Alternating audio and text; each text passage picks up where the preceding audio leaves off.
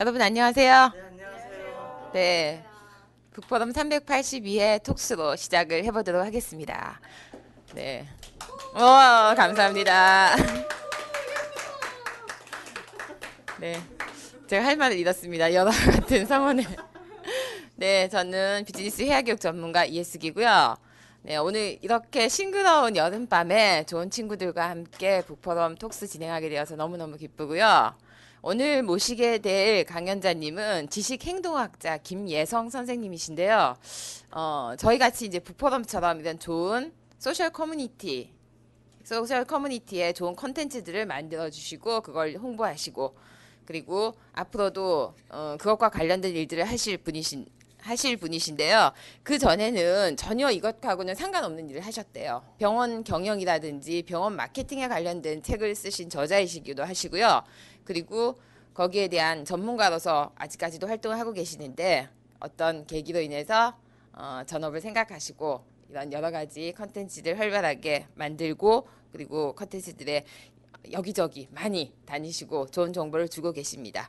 자, 김예성 선생님을 모시고요. social community에 들어가서 우리가 어, 어떤 가치를 가지고 어떤 attitude를 가지고 접하면 좋을지 그런 주제로 오늘 얘기를 한번 나눠보도록 하겠습니다. 초연결 시대 반듯하고 창의적으로 연결하라라는 주제인데요. 한번 모셔보도록 하겠습니다. 박수로 환영해 주세요.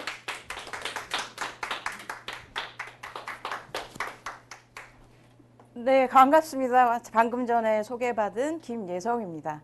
굉장히 포장해서 잘 예, 설명해 주셔서 되게 감사드리고요. 말씀드린 것처럼 저는 personal brand로는 지식 행동학자라는 personal name을 쓰고 있고 직업으로는 인, 인스코프 컨텐츠 컴퍼니 대표로 있으며 반듯하고 창의적인 코치들의 기획 담당을 하고 있습니다. 그래서 이것과 관련된 오늘은 이 특별히 이 반듯하고 창의적인 코치들에 대해서 어, 중점적으로 말씀드리도록 하겠습니다. 저희 다 연결되어 있죠. 지금도 저희 방송하고도 연결되어 있고 여기 계신 분들도 생면부지 분들이 여기에 나와서 서로 알게 되고 이런 것들이 더 많아질 거라는 예상은 누구나 하고 있습니다. 근데 그런 시대에 그냥 우리 같은 미생이 저 같은 미생이 어떻게 이 세, 세상을 그나마 인간답고 재미있게 살 수 있을까를 많이 고민하게 됐죠. 그래서 일단 지식 행동학자도 생소하고 저도 생소하고 모든 게 다 상세해질 테니까 저에 대해서 간단히 설명을 드리면 저는 치과병원에서 14년 차로 일했고 치위생을 전공했습니다. 물론 이제 그 중간에 경영학이나 마케팅을 전공을 해가지고 현재는 경, 국민대학교 경영대학원에서 리더십과 코칭을 전공하다가 어, 병원 경험과 또 이제 일반 경험 리더십이 융합됐어요. 융합되면서 그러면 내가 이걸 이용해서 다음에는 어떻게 살아야 될지를 고민을 하다가 이제 병원 일을 조금씩 줄이면서 제가 하고 싶어 하는 일들을 찾기 시작했습니다.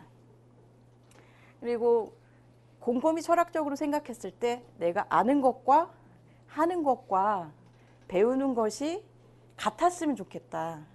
근데 저희가 사실 병원에서 일하다 보면은 그렇게 되기 어려운 경우들이 훨씬 더 많거든요.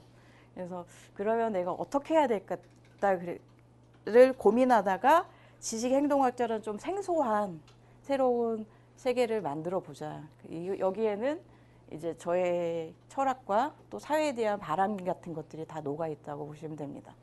그리고 또 하나는 사실은 예, 없는 걸 찾아본 것도 있어요. 여기 계시면 지식 큐레이터 분도 계시고 지식 테이너 분들도 계시고 하시면 나는 어디가 있을까? 그래서 예, positioning을 찾은 부분도 있긴 있는데 바람이 훨씬 더 많이 녹아 있습니다. 그래서 처음에 딱 나왔죠. 나와서 이제 병원 밖에 나와서 내가 어떤 걸 찾아다녀야 될까 고민을 했더니 그래서 그때부터 사실은 SNS와 페이스북 같은 것들을 많이 시작하게 됐습니다. 봤더니 제가 하려고 했던 것들을 이미 하고 계신 분들이 너무 많아서 사실 처음에 좌절했어요. social contents들을 뭐 강연, 코칭, 책, 뭐 질문, 뭐 이런 것들을 관련 뭐 책 쓰기 이런 거에 대한 컨텐츠가 너무 많이 나와 있는 거예요. 그래서 아, 나와 같은 생각을 하는 사람들이 많이 있구나. 어이, 그러면서 깜짝 놀래가지고 어디에 가면은 내가 병원에만 있던 순진무구한 나 같은 사람이 어, 속임받지 않고 눈탱이 많지 않고 잘 버텨나갈 수 있을까 고민하면서 그때 만나게 된 곳 중에 한 곳이 북포럼이기도 합니다. 네, 예, 예. 그 북포럼 비슷한 책 포럼도 한 몇 개를 더 갖고 뭐 강의 컨텐츠나 이런 것들을 많이 경험하면서 생각한 게 그 반듯하고 창의적인 선택을 해야 되겠다는 생각을 또 하게 되죠. 예. 왜냐면 컨텐츠들이 많은데 과연 그 많은 지식 중에서 내가 누 나의 그- 내가 가진 인프라와 시간과 이런 것들은 한정되어 있는데 내가 어느 분들과 연결이 되면 반듯하고 창의적으로 될까를 고민하게 된 겁니다. 여러분들도 여기나 지금 뭐 티- 방송으로 보고 계신 분들이나 그래서 지금 여기를 선택하신 거 아니실까요? 예, 감사합니다. 대답해 주셔서. 예, 그런 생각들을 하게 됐어요. 그러면은 우리가 네트워크에 가서 처음에는 저도 그랬죠. 아, 세상이 어떻게 되고 어떤 컨텐츠가 있는지를 알고 싶고 내가 무언가를 받으려고 그리고 경험을 받고 하려고 갔을 거잖아요. 근데 가보니 그렇지가 않았어요. give and take 그러니까 최근에 이제 코칭 질문 저희가 이제 수업 시간에 코칭을 하면서 했던 것들이 네트워크 사회인 건 맞고 서로 만나서 융합하고 convergence를 일으켜야 되는데 그러면 우리는 어디를 가야 됩니까? 그리고 가면 소모적인 모임들이 많은데 우리는 어디를 선택해야 됩니까를 다른 분이 저한테 물어보셨어요. 그렇, 근데 그렇게 괴로운 이유는 제가 한 2, 3분 정도 생각한 후에 그렇게 괴로운 이유는 내가 받으려고 해서 그런 거 아니냐. 예, 먼저 주려고 했었다면 그런 것들이 일어나지 않았을 텐데 그래서 이제 최근에 작년에 기브앤테이크라는 책도 나왔었죠. 그래서 제가 생각했던 건 이거예요. 이게 반듯함의 의미입니다. 네트워크에 먼저 갔을 때는 기부부터 실천하라. 내가 가서 할 수 있는 일, 그리고 뭐 필요하면 내가 뭐 뒷정리를 한다거나 아니면 뭐 여기 패널로 참석하시는 것도 사실은 자기 경험이 될 수도 있지만 자기의 시간과 노력이 필요한 거거든요. 예. 그리고 이것들을 이끌어 가시는 분들도 네트워크를 이끌어 가시는 분들이 평균적으로 봤을 때는 어, 리더십이 굉장히 강력하신 분들보다는 차분하고 과정 관리형 리더들이 훨씬 더 많다고 해요. 그만큼 인내와 끈기가 있고 줄 마음이 있으신 분들이지 카리스마가 넘쳐서 에너지가 넘, 넘치신 분들은 중간에 이제 번아웃 되는 거죠. 마음이 급하니까요. 예, 저희도 그런 마음으로 어딘가 네트워크에 소속되려고 하면 금방 그 네트워크에 실증이 될수 있다는 걸 보- 발견이 된 거예요. 예, 그러면서 창의적으로 테이크하라.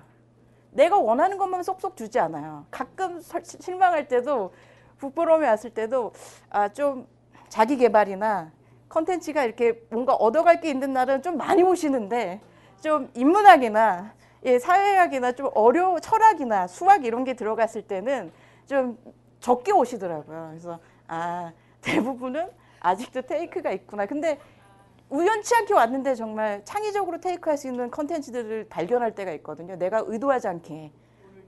예, 감사합니다. 아, 몸둘 바를 모르겠네. 감사합니다.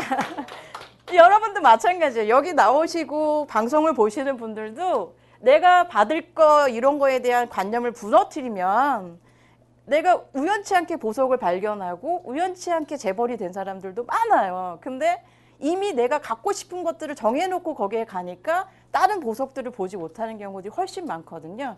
그게 창의적인 겁니다. 예, 내가 이 사람을 만났는데 아, 이 사람은 조금 뭐 생긴 것도 이상하고 별거 없는 것 같아. 죄송, 제가 팔이 짧아서 그렇습니다. 팔이 짧아서 그렇습니다. 예, 그런 것 같아. 그래서 그냥 흘려보낸 사람이 나중에 어떻게 될지, 어떤 고객으로, 어떤 갑으로 돼서 나에게 돌아올지 모르거든요. 예.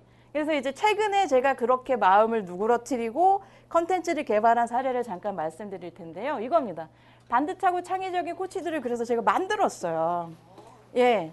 그래서 이제 국민대 코칭 대학원에 저희 이제 기- 같은 기수분들이 너무 서로 마음이 잘 통하고 좋은데 우리가 사회에 반듯하고 창의적인 컨텐츠를 하나쯤은 아웃풋으로 내고 졸업을 하자라는 걸 합의가 됐어요. 그래서 코칭이라는 거, 그러니까 이 사람들이 모인 거죠. 코칭을 모이고 그 다음에 그동안의 코칭은 사실은 코치를 아직 잘 모르시는 분들도 많아요. 근데 점점 코치 풀은 점점 넓어지고 있는데 모르는 분들은 훨씬 많은 거예요. 저희 가족들도 몰라요. 제가 이걸 다니고 있는데도. 그래서 이거를 조금 더 소셜적으로 갖고 가면 재미가 있어야 될 텐데 그러면 어떻게 하면 재미있을까? 그래서 이제 그걸 컨텐츠랑 연결을 한 거죠. 제가 이제 컨텐츠를 개발하고 싶은 사람이 됐었으니까. 그래서 첫 번째 작품이 이거예요. 용감한 대학생. 저희가 아직 코칭 경험이 많지 않은데 그래도 이거 갖고 일단은 누군가에게 먼저 기부할 수 있는 부분이 뭐가 있을까 고민해 봤더니 대학생들인데 저희가 대부분이 조- 대학생이었던 게 20년, 30년 되신 분들이에요. 처음에는 아, 이분들을 연결하기 위해선 우리가 어떻게 해야 되지 했더니 아, 대학생들을 전혀 이해하지 못하고 있었어요. 예. 그래서 그러면 얘들한테 잘하려면 어떻게 될까? 그래서 대학생을 공부하기 시작했죠.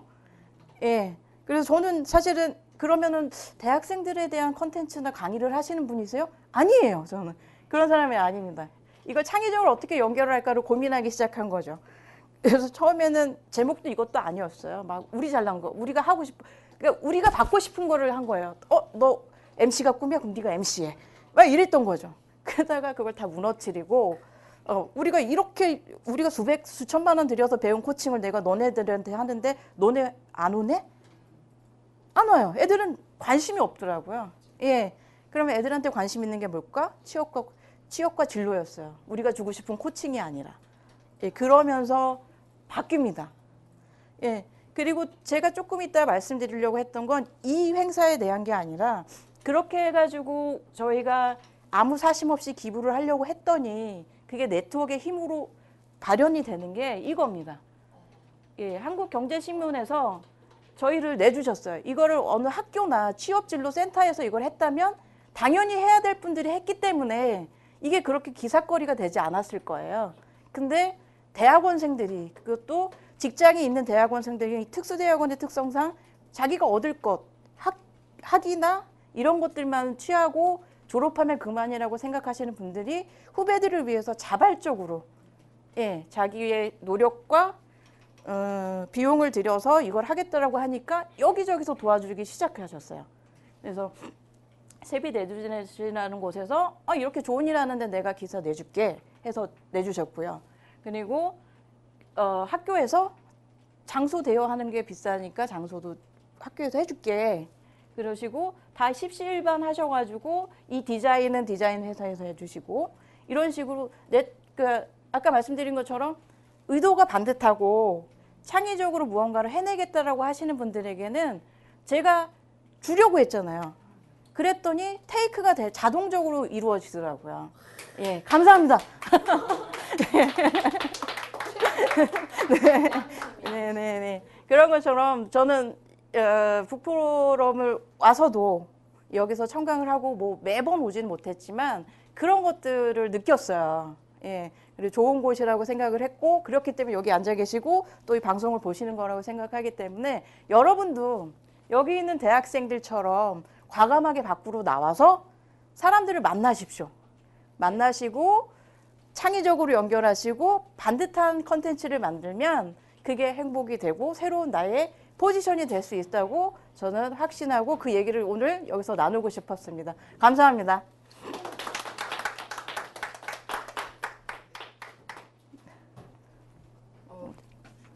굉장히 훌륭한 강연이었습니다. 근데 리액션이 너무 좋으세요. 네, 네. 리액션 어떻게 하면 저렇게 active하게 할 수 있는지 리액션에 대해서 한번 배워보고 싶은데 네, 네. 네. 감사드립니다. 네. 네. 저 질문 있으시면 받아보겠는데요. 혹시 지식행동학자 김예성 선생님한테 질문 있으신 분 있으시면 한두 분만 받겠습니다. 네, 질문 좀 해주시기 바랍니다. 아 돈은 아직 이제 중간입니다. 아까 병원 일 거기서 이제 예전만큼 많은 수입을 이- 근근히 살아가고 있습니다. 주 수입은 아직 이제 과거에 했던 일에서 나오고 이거 있고요. 이쪽 컨텐츠는 아직은 좀 수익이 되고 있지는 않습니다. 음, 나 네네. 언젠가는 수익이 될 거라고 생각하시나요? 네, 빨리 왔으면 좋겠습니다. 그날 그 날이 빨리 왔으면 네. 좋겠습니다. 요새 살림살이 많이 어렵, 어려운 것 같습니다. 우리 질문들이 다 이런 건가 보니까. 네, 저기 있는 저기 요 종이컵 이런 거 제가 집어갈 수 있습니다. 네. 네, 네. 네, 질문이 아니라 네. 지금 이제 우리 사무 네. 그런 사람들이 필요하거든. 보살도를 하는 거란 말이에요. 네. 양심을 가지고 움직이고 내가 먼저 주는 거. 네, 네. 그러면 이게 사랑이잖아요. 내가 네 네. 누군가에게 사랑은요 무조건적으로 줄 때 안 받으려고도 와. 아, 네, 네, 네. 그거를 어떻게 알게 됐는지 나이가 제가 보기에는 굉장히 어린 거로 알고 있는데 뭔가 아. 이렇게 심하게 마음 아픈 일을 겪었습니다. 아, 야, 이건 더한데요, 아까보다. 저 울어도 되나요? 방송 중에 울어도 되나요? 우세요. 네, 네. 우세 조심. 네, 네. 아, 예. 울고 가세요. 네, 어, 네, 갑자기 울컥하네요. 네. 그러니까, 네, 네. 근데 음, 그런 것 같습니다. 이제 코칭을 배우면서 사실은 저에 대한 질문을 굉장히 많이 했어요. 너는 왜 대학원에 다니지? 네, 너 그냥 뭐 왜 그냥 편하게 살 수도 있는데 이걸 하지? 너가 하려고 하는 건 뭐지? 계속 질문을 거듭하다 보니까 벗기고 벗기고 벗기고 보니까 그 안에는 아까 말씀하신 사랑이나 인정 이런 것들이 남아 있더라고요. 예, 예. 그래서 가능하고 지금도 사실은 울컥울컥 할 때 있습니다. 옛날 성격 나올 때 있는데요. 예, 그럴 때마다 제가 가고자 하는 것을 떠올리기도 하죠. 네, 네. 아, 울컥이 감동이 아니라? 네. 그건 울컥이 우라통이죠. 아니고. 우라통이 터질 때가 있습니다. 아, 없어요. 네, 네. 네. 알겠습니다. 그럼 여기까지 마치도록 하겠습니다. 수고하셨습니다. 네, 감사합니다.